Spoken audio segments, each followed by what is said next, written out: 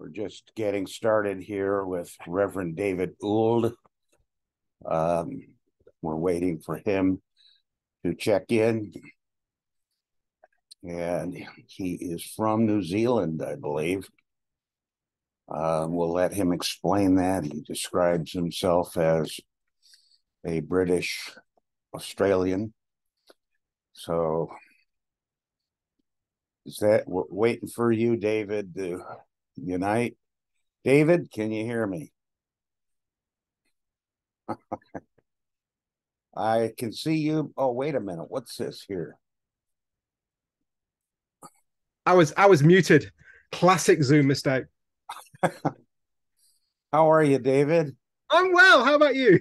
Boy, you're a, I'm doing good. You, I really messed up. I think you may have. You wouldn't be the first American to think everyone's in their time zone.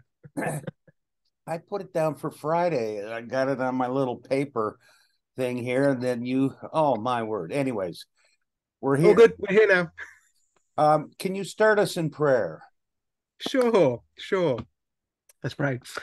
Uh, Father, thank you for the opportunity to have this conversation. Uh, we pray as we get to know each other uh, that it will be a blessing uh, to those who get to watch this interview. In fact, surprise us uh, by how you use um, our time together. And we pray this in Jesus' great name. Amen. Amen. Well, the floor is yours. Tell us about David Ould. You're a reverend, a rector, I take it. Sure. So actually, not a rector at the moment. So it's David Old. Um, so I know I have that extra little U in there, but that's my father's fault. Don't know why that is. Uh, but David Old. Um, I am senior associate minister at St John's Anglican Cathedral in Parramatta, which is in the west of the Sydney Basin, and actually the um the the site of the original colony here in New South Wales in Australia. We are the longest continual site of Christian worship in the whole of Australia and one of the first two original parishes that cover the whole of the old colony. But as you may tell from uh, my accent, I'm not originally here from Australia. I grew up in the United Kingdom in the north uh, in a city called Sheffield, uh, which is where my first experience of church was within uh, kind of mainstream, middle of the road, uh, at times uh, gospel lacking Church of England. Yeah, uh, what else can I tell you? Uh, I'm married to Jackie, who's from Singapore, and we have three children. The eldest is uh, 19 and at university, and then two boys who are school age. The, uh, the oldest one is doing his final exams this this coming year. Excellent, excellent. Yeah. And Sheffield, and did you say Cathedral Church? So I'm we're at Parramatta Cathedral. Well, it's technically a pro cathedral. Uh, the Diocese of Sydney is quite a large uh, entity. And in the 60s, they had a bit of a conversation about maybe splitting up uh, the diocese into a number of, of dioceses. And so, with a view to that, a number of, of the old sort of central churches were, were renamed as pro cathedrals. Uh, the whole idea to split the diocese fell apart. We turned up being regions, but we've ended up sort of being a, I think they'd now call it a regional cathedral. So we are we are technically the seat of the Bishop of Western Sydney, who is one of the assistant bishops to the ordinary, who of course is Archbishop Kanishka Raffel. So when I hear cathedral, I I'm thinking cathedral music. Do you get that? Well, um, we don't have much of that at the moment. Uh, uh, Sydney evangelicalism, along with much of Australian uh, English sort of low church evangelicalism, uh, doesn't have much of that kind of old traditional uh, uh, church music anymore. We still got a wonderful organ which gets um, played predominantly at one of our services every Sunday, but sort of the call for a, a, choir and that sort of thing has, has passed away. There's been a real cultural shift in, in in in those things in in these sorts of circles. It is, however my background. I do love a bit of the old church music. I was a chorister in the day, and you know, with the ruff around my collar and all, all that kind of thing. So I don't mind a bit of it. But um, it's that all things to all men thing at the moment uh, that's being pursued here, and perhaps that the flavour of Sydney evangelicalism might be a might be part of our conversation today. Oh, explain that to me, because well, sure. I, I got a different trajectory and tradition. Yeah, so it's a very um it's a very it's a very low church evangelicalism. Uh, it's shared in conjunction with similar people from the United Kingdom and the Church of England. Part of the way to understand it, its its legacy is to understand that uh, when the first fleet came out in the late 18th century, uh, of course, came out to New South Wales with with convicts for a a, a prison colony because uh, the um the Americans got a little bit uh, rebellious and decided they didn't want the British to run uh, to rule there anymore. So George Georgia was no longer available to dump our criminals into, so they got sent across the world uh, to to New South Wales uh, or just you know the new land out here as, as it was.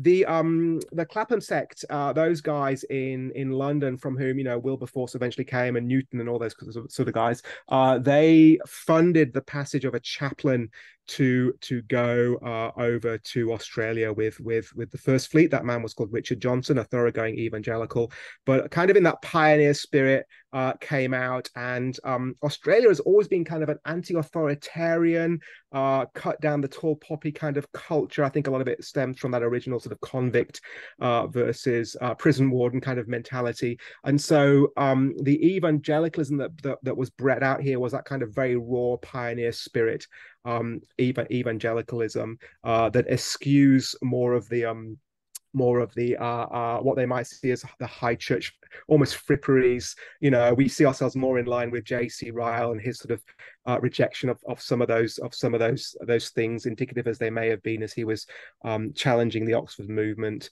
Uh, and so it might be an overreaction to those things, uh, quite quite possibly, but it is it is the flavour of what we have today in in that sort of churchmanship here here here in Australia. So, um, for example, we we we don't use the BCP 1662. Uh, uh, one of our services, we use the AAPB, which is a 19, a late, very late 1970s uh, revision uh, um, of that. And a lot of Sydney Anglicans would say we're, we're in the spirit of the prayer book. So I'm a, I'm a thoroughgoing church man myself, but it's it's kind of one of those, you know, you go through the articles and it says, you know, everything doesn't have to look have to have to look the same at every time, and it needs to be appropriate to to the context that we're in. We're in a very anti-authoritarian, uh, relaxed culture uh, here in Australia, and so it, it does behoove behoove us to to work out what perhaps the um the best way of of of speaking uh, those eternal truths into that into that contemporary culture are.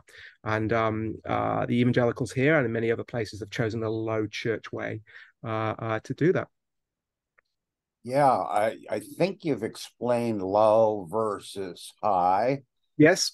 Um, I'm always a little troubled by that. I, some have called me a high churchman. Hmm because I like cathedral tradition music. My wife has a PhD in in sure. pipe organ and sacred music, and we're in the bishop's church, and we get that. Yeah, you know, preaching. Well, we can talk about that later, but yeah, yeah. I'm on the other hand would be described as low because I'm out yeah. of reformed Episcopal tradition, yeah. and historically black gown, 39 articles with the American book. Sure. But that's how they would they would cast themselves in the past, which yeah. you use the word fripperies.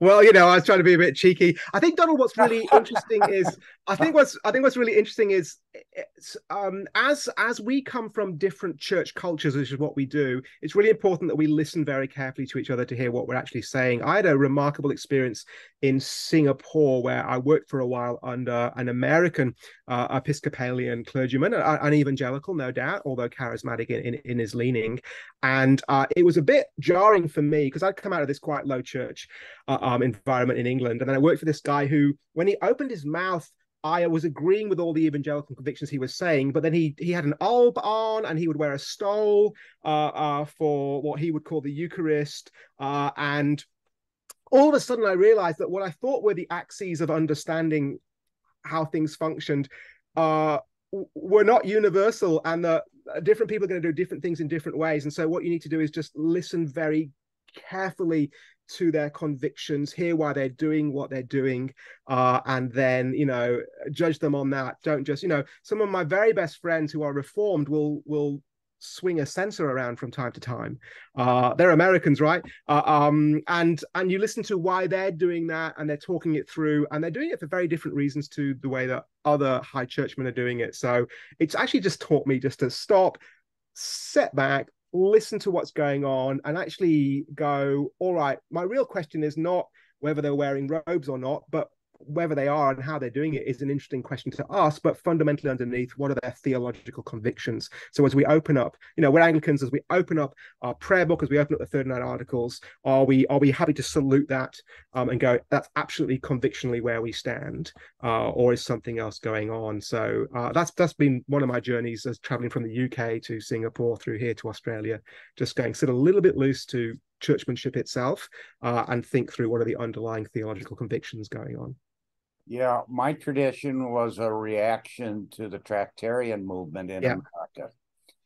Yeah. And they read Anglican textbooks for the seminary reading list and Reformed textbooks. And so they were Protestant, Reformed, prayer bookish. They had an Anglican sensitivity, Episcopalian. Yeah. Very, very anti Tractarian and very anti ritualistic, more in the spirit of that uh, esteemed American bishop, Bishop McIlvaine, yeah. Charles Pettit McIlvaine, who yeah. was real. He was loved in England. The, arch, yeah. the Archbishop said of him that it was impossible to know him and not love him. he died in Florence, Italy on vacation his body was shipped through London and was the only American to lie in state at the Westminster Abbey before further transfer back to Ohio for interment. But that's kind of the, you know, so uh, we've had some real challenging times in the last generation in the Reformed Episcopal Church. And yeah, we now have a presiding bishop who endorses uh, what I would call using the West. I, I came in from the Presbyterian side, fell in love with a prayer book.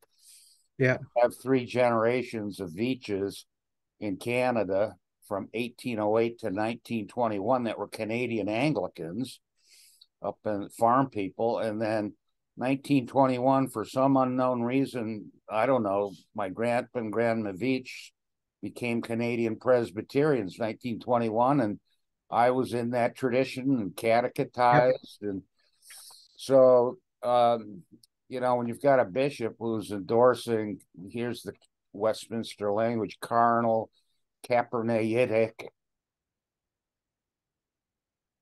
presence of Christ in the elements, yeah, substantiation, or you know I call it transubstantiation without uh, Aristotle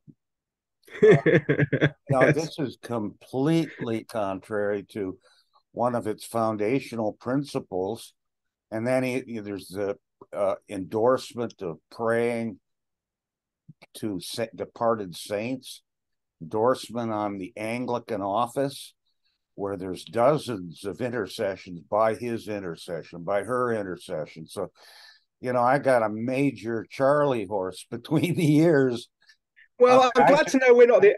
I'm glad to know we're not the only ones with our with with with our issues, and I suspect these these these battles have to be fought every every couple of generations or so. Uh, and and again, what will intrigue me is that the way that they are fought will depend upon the context that um uh that that you're in. So so so um you know, I can see the, a lot of the REC guys going back to yes, I want to be going surplice, cassock and surplice, or even just you know a Geneva gown, and that's my way of sort of fighting against that. Whereas here in this context, it's almost the rejection of of of a lot of vestments uh, um, because of how they're used by others as well. And so again, I think this thing to our to our viewers where we just go, um, work out why they're doing what they're doing. Um, you know, uh, this might be a slightly broader church than you think. Uh, um, you know, uh, and you and I must surely agree at the end of the day when we open up our scriptures, we, we don't find any any any prescription on on on investments. so so at that point, we just need to be really careful about what we're what we're prescriptive about and what we're not prescriptive about unless you think Jesus had a mitre on it the last well, yeah, I'd, I'd love to find anybody who thought that. I'm sure they exist somewhere. That's right. You know, I I don't think there were even any vestments for the first three centuries or four. Quite possibly not. Quite possibly not. Uh, and and that's why we just need to be really, really careful. And don't get me wrong, I actually I'm a churchman at heart from from from back in England. So uh, on appropriate occasions, I will I will vest appropriately. Uh, so uh, formal, as indeed civic occasions here, I'll certainly uh, put on what's appropriate. We had a, a Thanksgiving service for the late Her Majesty uh, um, last year, and I, you know you know I went with the academic hood and everything for that as well. Uh, so so where it's appropriate, absolutely appropriate. Um, and but in other occasions here we're making the decision uh, not to do it. Others will differ. Uh, uh, yeah, I think I said my piece on that one. Yeah. Well, if he if you had to come over for you're you're in Australia, right, or New Wales? Um, yes, in in in in Australia, in New South Wales, in Sydney. Yeah. Yeah. Okay. If you had to come over to one of the old REC prayer book services, you'd have seen a few yeah. oddities. You know, instead of the praying for the royals, we pray for the president. Sure. Uh, a little tweak here on the declaration of remission instead of being based on the minister declaring they wanted to insert based upon the assurances given in God's word that he pardoneth and absolveth. So yes, a, a few and that's understood. I think that's understood in the declaration anyway, isn't it? Surely.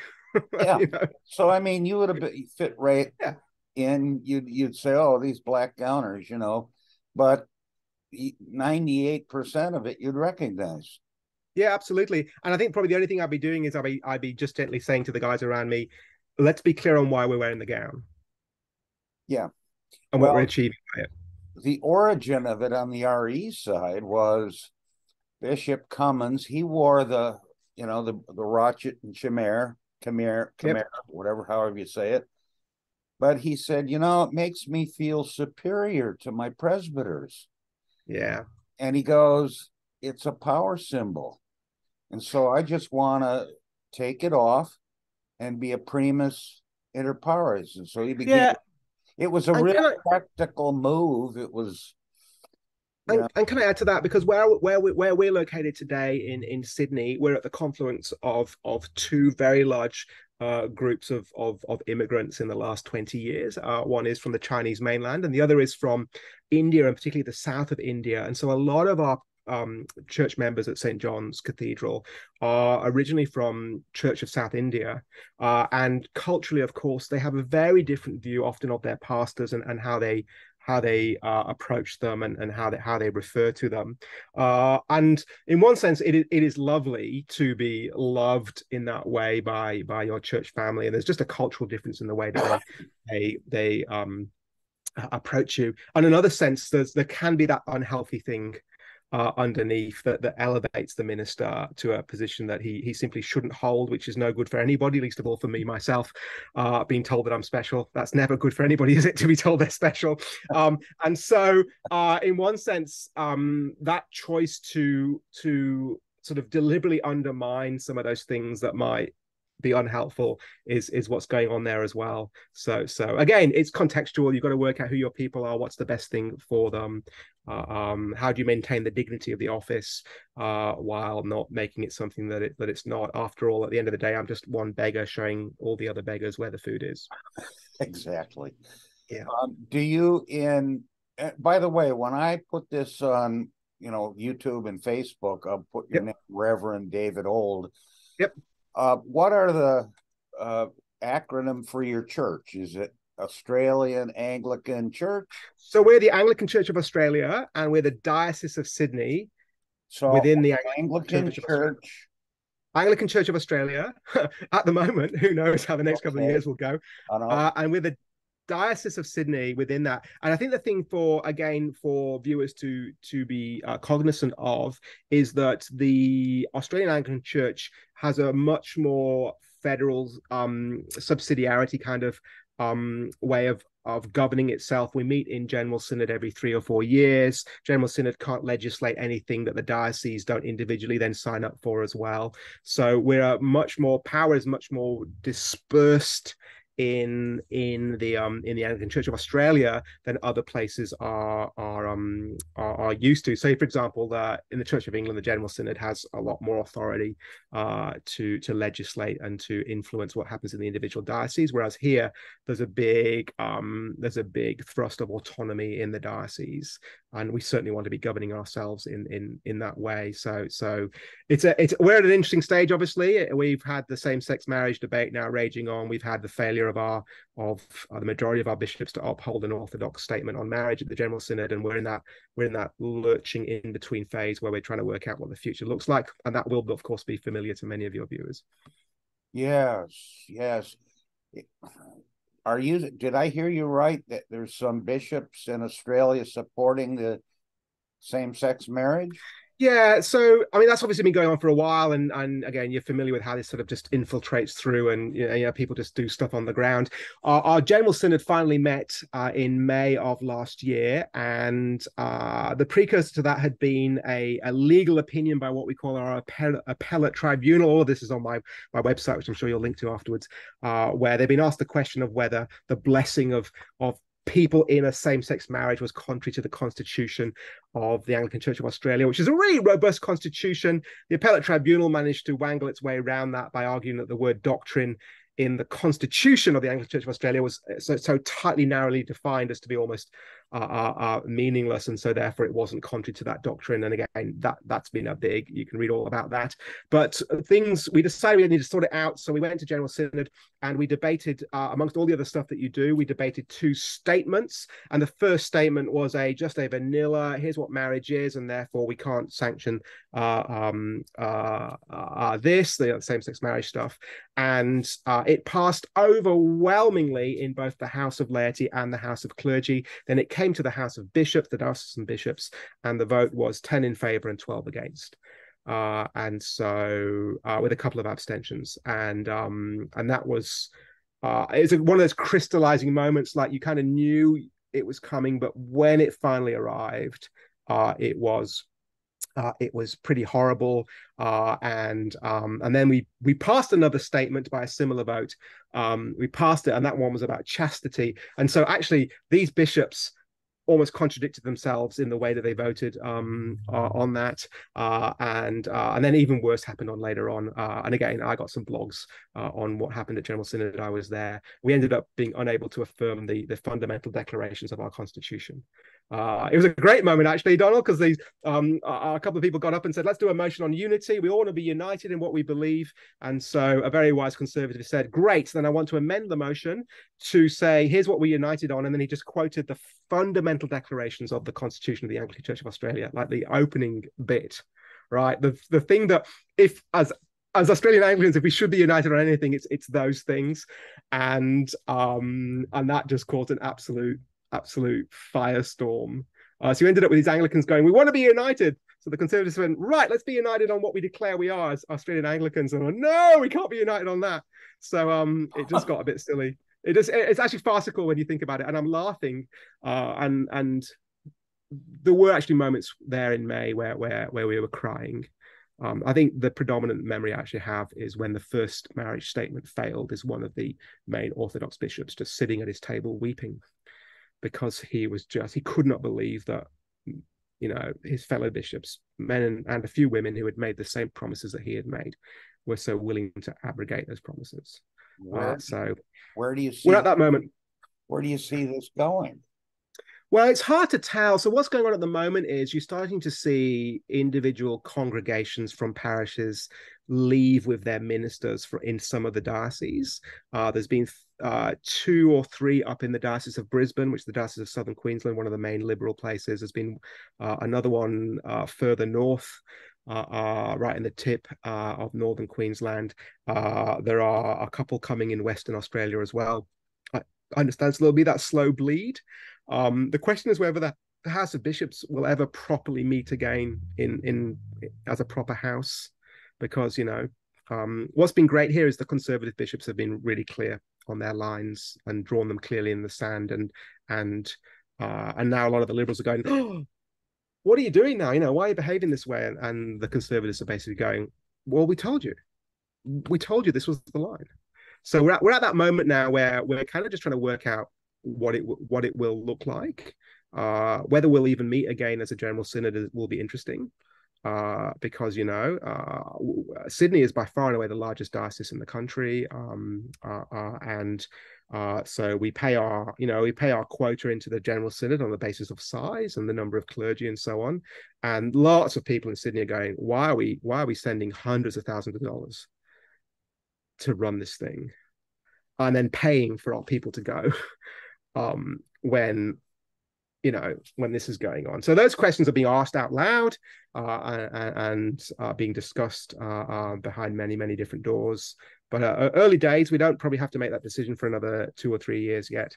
So we're just going to see how it all you know it all plays out. I don't know. Is, i really don't know. is the australian anglican church part of gafcon uh, so there are individual dioceses that are affiliated to GAFCON, and there are a number of dioceses that quite clearly would not be.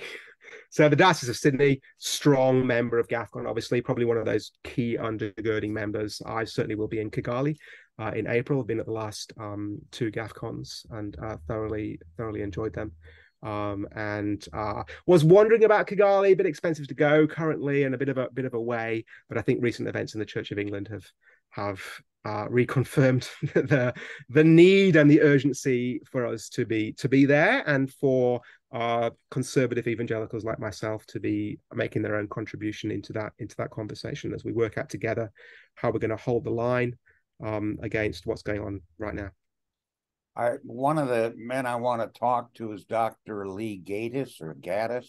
Yeah, yep. Um, he he had kind of an ex, um, I'm not going to say explosive. That's not. That's a little loaded. Uh, it's quite robust. Quite robust for an Englishman, I think, is what you might say. is his response. Quite what? But necessary. Quite robust for an Englishman. There you but, go. But but necessary. But it necessary was... at this moment. That it is farcical what has been proposed by the House of Bishops and the Church of England, and quite, um, I think, disappointing would be too weak a word for to see Justin Welby's wholehearted endorsement of it. Lee used the word insulting to my intelligence. Yeah, I think it is. They're just, you know, yeah, uh, the notion that these blessings are not clearly changing the doctrine of marriage uh, is is quite ridiculous. Uh, and uh, we just need to be really, really clear about that and just say we're not being fooled. We're not fooled by it. Let me ask a really basic question. Sure. The doctrine of Scripture. Mm-hmm. In the Sydney of Diocese. How yeah, I know Article Six of the 39. Yeah. I'm a yeah. Westminster chapter one man, and I'm through the old Princeton line and Jim Boice and R.C. Sproul, personal friends. Fairly robust, yep. okay, uh, yeah. So I come out of the inerrancy, infallibility, the that whole school.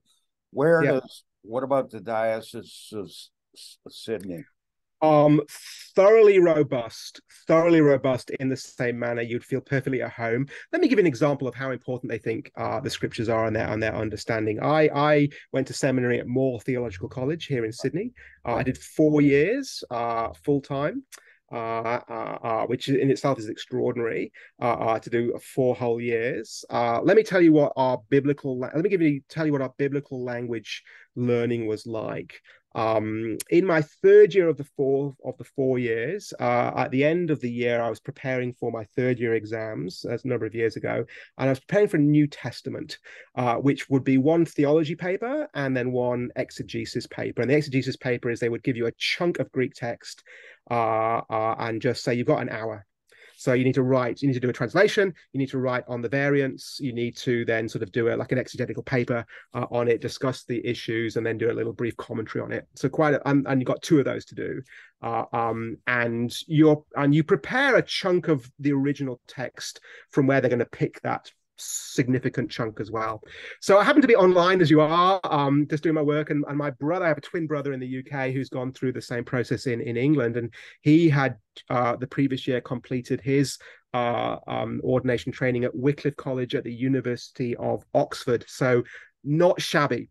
That's what I'm saying. University of Oxford, educated uh, in theology, and and he said, "Oh, what are you working on today?" And I was like, "Well, I'm working on my Greek text, uh, trying to prepare my Greek text for for the exam." Uh, and I said to him, "What did you do in third year, your final year? What what was your Greek text in in final year?" And I think he said something like, "Ah, oh, Romans 8."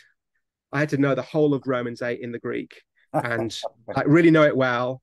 He says to me, "What's your prepared Greek text?" I said, "Ah, oh, Romans 5 to 8." And the equivalent amount of text in the Luke Acts corpus as well. So that was the that was the level to which they were they were preparing us just in terms of New Testament, let alone let alone Hebrew Old Testament, are, working very hard, um, and it it's it just breeds this this mentality that the text is is you know what's most important. This is the way that God speaks. This is the way He does His work. Um, and so, me, when I'm training and working with my associates and our interns and so on, one of the phrases they'll keep hearing me say is, God does his work through his word by the Spirit. So your job is to exposit the text well and appropriately to the circumstance that you're in, and that can look in very different ways depending uh, uh, what you're in. Your job is to rightly divide that word of truth, to use Paul's language, and just lay it out and let God by His Spirit work out what He wants to do with it. So, and me espousing that, I don't think is uh, uh, at any odds to what's going on around us. Um, Moore College is one of those bastions of of conservative evangelical thought. The principal, Mark Thompson, one of his publications is uh, on the perspicuity of Scripture. Uh, it's a clear and present word. It's in that same series that um, uh, there's a number of them in that series. Uh, I can't remember the name of the series now, but it's a great book on on the nature of Scripture. It's called A Clear and Present Word. It's on the perspicuity of Scripture. Uh, so that's kind of that's the milieu that we're swimming in here, uh, and and we're all thoroughly convinced. Our job is to be opening up the Bible with people and helping them see how good the Lord Jesus Christ is, and let God gather His gather His elect as He chooses to. Exactly. I'm, yeah. I'm, I'm with you. is that okay? Uh, and I think all of that is, I think all of that is quite clearly in the articles, and especially when you read uh, when you read the homilies uh, uh, with them. And because Presbyterians are a little bit slower on the uptake, the Westminster needed to just flesh it all out a bit. I, have taken heat for being an Episcopalian with ah. with the Westminster standards. I'm used to it. You know, sure, the, sure. I was in the Navy Marine Corps chaplaincy, so yeah. uh, I've been with every stripe that's out there. And the Episcopalian, the Westminster Confession, what in the world? Yeah. Uh, and then the prayer book, I got that. And then I got the Westminster Confession, and the Presbyterians are, you know, ribbing me about having a prayer book. So, whatever. It's a yeah. the, the old prayer book. I love it. I love the Westminster Standards, but um, educationally, the my lineage is J. Gresham Machen is my great grandfather. Okay, then. Well, that's quite a pedigree. That's quite a pedigree. I, I, I'm, I'm supremely grateful for the education that I got uh, here in Sydney, and not just a, th- a standard three-year uh, course, but then a fourth year, which allowed me to really dig deep into some subjects to do my own little uh, dissertation. They call it a project, but fifteen thousand words on a, on a, on my you know on a topic I'm really interested in, and um and just it has really set me up, and, and I'm I'm phenomenally grateful for it. You're talking about four theological years on top yeah. of a bachelor's. Uh, well, so they call it a bachelor's, a bachelor of divinity. So my first degree is from years ago. It's I'm a I have a BSc honors in accounting and financial analysis from back in the UK. As exciting as that is, right? You know. Um, so the the degree that we did is it's called a bachelor's degree. It's called a bachelor of divinity. It's a four year degree. I think, and I, I don't want to sound presumptuous or proud in saying this. I think in any other context it would be treated as a master's. Yes. Uh, um, but it's Australia; they like to keep you humble. Uh, they are actually currently going through the process now of of having it changed into into a master's. So so uh, people that are going to be going through Moore College soon, I understand, will be walking out with a master's. Uh, but um, uh, it's important. I think it's helpful just to go. Who cares what it's called? Um, yes, it's yes. it's the quality of what it is. So it's equivalent of a master's. As a four, think of a four year a four year um, really quite intense degree with the fourth year with some scope for uh, if you want to for doing a, a project, a, a dissertation. Yeah, we, we would call that a THM over here. yeah, that, that kind of thing. Four years. Yeah, that kind of thing. Yeah, yeah, yeah, yeah. By the way, I had Dr. Philip Edgcumbe Hughes as a professor. Okay. And Okay. Church of England. He had a pastor's heart for us students. Yeah. But he was tough, but you knew he loved you. And the seminar it was a THM PhD course. Yeah. Had that for a year in Second Corinthians. He would love to lead us, only six or eight of us. He'd lead you into heresy.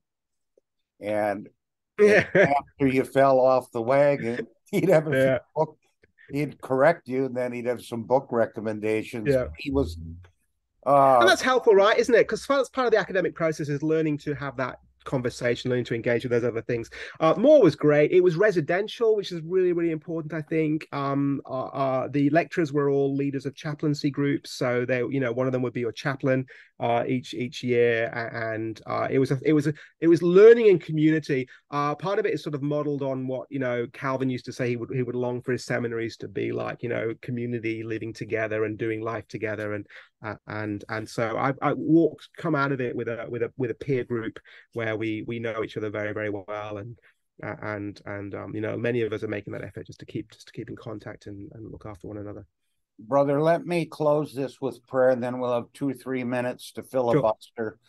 Phyllis, I'm using a prayer from the REC prayer book as we've been talking about schools. Let us pray. Almighty God, the author of all being, our only true guide and protector. Visit with thy blessing, we pray thee, our church schools and seminaries of learning. Inspire the teachers with a proper sense of their solemn duties and with grace and strength to fulfill them. May our youth be trained up in thy nurture and admonition, implant in their hearts that fear of the Lord, which is the beginning of wisdom, and that faith which overcometh the, the world.